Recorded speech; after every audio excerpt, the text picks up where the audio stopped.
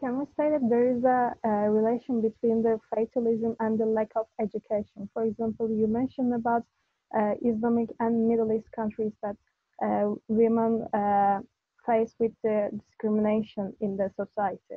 So maybe can we explain the situation uh, about uh, when when women uh, are not able to reach the qualified education? Maybe they explain they try to explain everything with fatalist approach. They try to explain everything. The, the, the sound broke up. Fatal approach. A, a fatal, a fatal epoch. Uh, right. Um, yes. Well, I, I mean, I think it's um, uh, it's very you know it's very common that people, in a sense, collaborate mm-hmm. in their own problems. They by taking up a fatalistic attitude um, being, as it were, uh, um, content in whatever position society has put you in, um, that's the opposite of activism. It's the opposite of trying to do something about it, um, worrying about whether it's uh, just or fair or whether it's uh, an imposition. Thank you. Thank you. Um, my question will be about quasi-realism. Oh yes. And what is quasi-realism and why are you calling it quasi? Right. Mm-hmm. Um, okay. Um, well, it's a term that I introduced about 40 years ago, I think. Um, and it was, um, it was like this. There were two schools of thought about the nature of morality. Mm-hmm.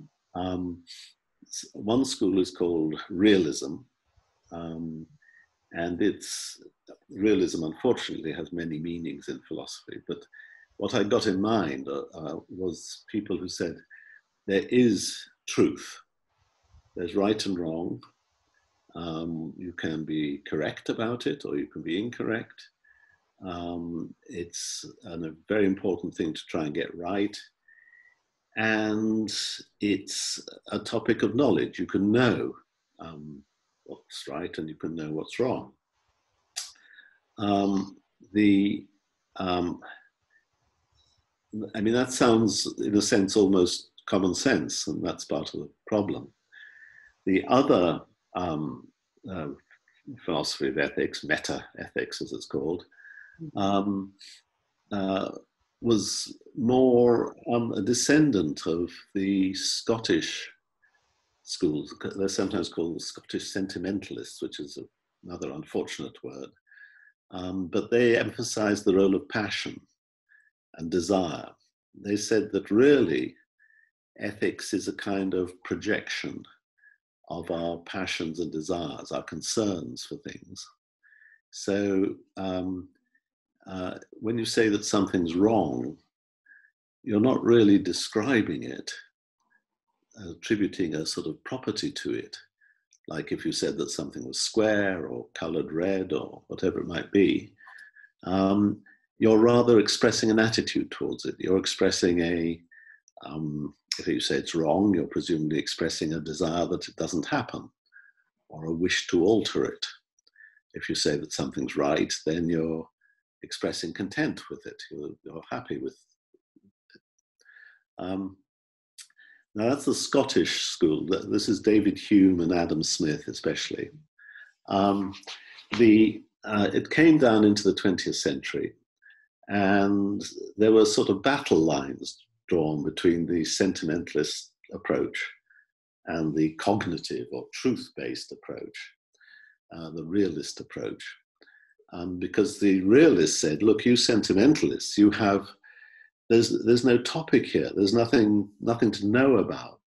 There's no truth or fact in this area, according to you, and that's really bad." And the sentimentalist said, "Yes, but you can't tell me anything about these truths and facts. They're metaphysically very strange. I mean, roughly, when you think when um, uh, if God created the world, he just had to create a world of what is the case. He didn't have to create a world of what ought to be the case as well. So, a moral reality is a very difficult thing to feel you've got hold of. Um, so those are the battlegrounds.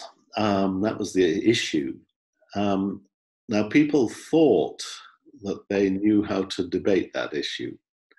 Um, and my contribution was I came along and I said, no, I don't think the, I don't think the arguments in place in this area are very good. Um, I don't think you ought to be swayed by some of the arguments that were quite common. Um, because, and I was writing mainly on behalf of the sentimental school, um, and I want to say the sentimental school doesn't have to reject all the things the realists are saying. The sentimentalists can accept, for example, that um, it's not only wrong to stamp on babies for fun, it's true that it's wrong to stamp on babies for fun. Or if you like, it's a fact that it's wrong to stamp on babies for fun. Um, once you've said the one thing, you can go on and say the others. It shouldn't, it shouldn't be seen as adding to the temperatures as, making it harder. Now, of course, you could debate whether it's wrong to stamp on babies for fun, although I think anybody who thought it was okay would be very odd, might be in prison. Um, so, um, but you, in principle, you could talk about it but you're not going to add to the discussion of it if you go to this meta level and say that facts and truth and things are somehow elusive or invisible in the case of ethics in the way that they're uh, common sense and everyday in the case of our everyday descriptions of the world around us.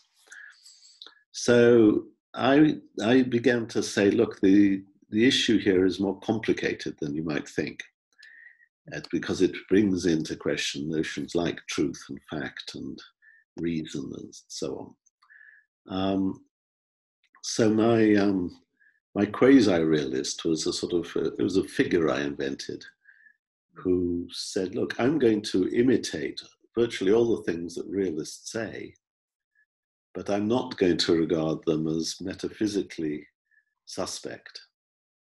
It's as if there's a reality. Um, but I'm not going to accept any, any obligation to say anything about it, to worry about its nature, mm. um, or, uh, or to um, take part in the old debates. So, so it was really an attempt to change the landscape in which those things were discussed. Oh, uh, Professor, then uh, what is the difference between a quasi-realist and a moral realist? Like, where can we draw the line? Mm. Well, um, that's proved a very difficult question. Mm-hmm. Um, the um, there was a, a, very good paper written by a friend of mine uh, called Jamie Dreier, um, called um, uh, "The Threat of Creeping Minimalism." Morality and the threat of creeping minimalism.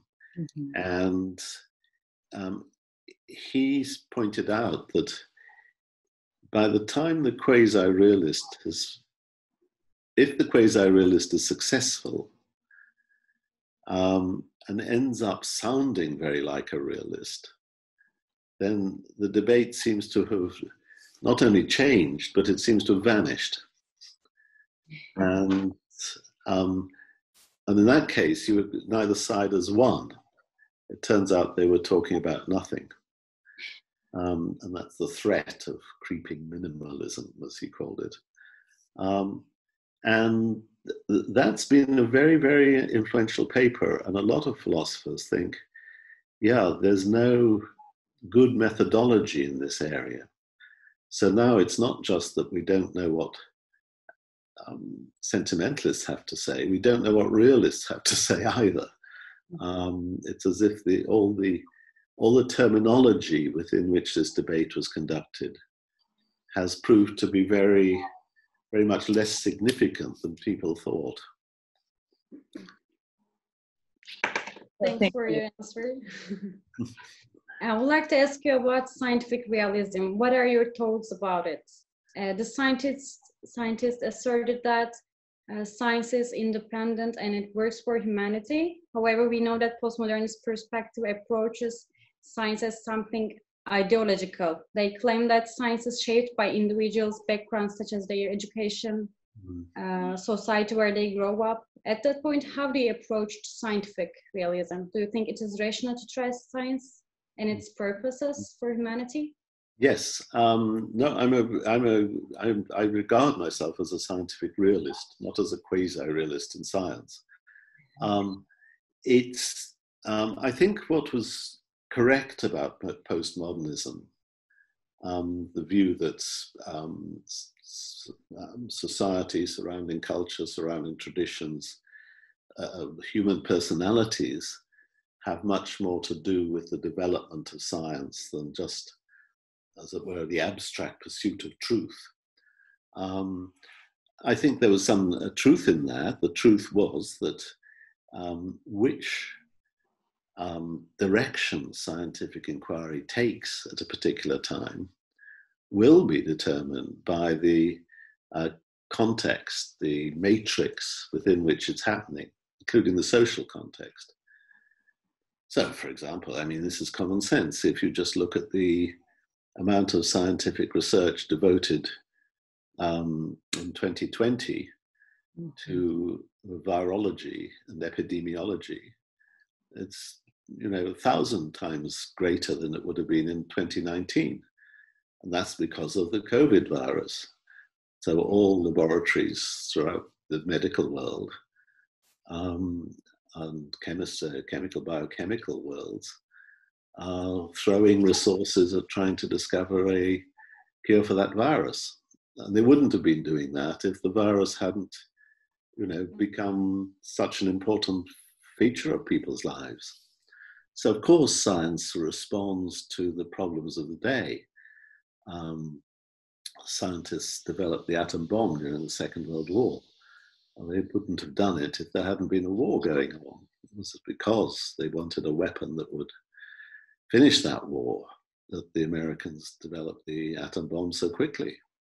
Um, and um, you can point to endless examples of that in which a need in society or perceived, something perceived as a need drives the direction of scientific inquiry.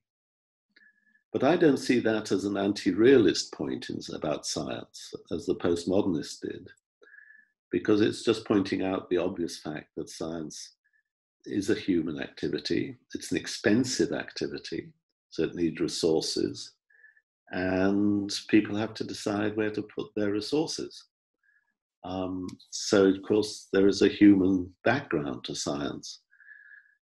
But that doesn't, as, as it were, filter through to say that the sociology or the politics infects the science um, and somehow it stops it from being objective. Um, let me give you an example. In the 17th century, um, when the well, 17th to 18th century, um, one of the major problems for navigators at sea was knowing their longitude. They, they, they were good at finding out how far up the earth they were or down, that is their latitude, how mm. far they were from the equator, how far they were from the North Pole. Um, but they're very bad at determining how far east or west they got. Um, and they, everyone knew that this, this problem could be solved if you had a good enough clock. Um, and that's generated an enormous amount of effort into developing a clock which would keep accurate time at sea. If you think of an ordinary pendulum clock, it's no good at sea because it's tipping around all over the place. So um, finding a so-called marine chronometer, an accurate watch or clock that would work at sea, um, was a huge need. And it was a need because people kept crashing into coastlines and getting lost and so on. So, so the uh, and the reason they needed it was because the uh, international trade was developing. It was important to conduct these long sea journeys. and so you've got this um, this problem. And there was a this huge prize in uh, in England for the first person who could develop a timepiece that that kept time at sea. Um, that's a piece of science which was entirely driven by these commercial activities and commercial necessities. Um, but of course, once it was completed, people knew the time at sea, and that's objective. They knew when to say, oh, it is now noon at Greenwich or noon in London, um, and get it right. And the fact that they got it right is a perfectly objective fact. They, there was no um, no kind of French skepticism possible about the truth about the time. Um, even though the motivation for finding it was commercial. So, you know, you've got to separate out the, um, the value of the result from the possibly somewhat suspect motivation that led people to, to try to find the result.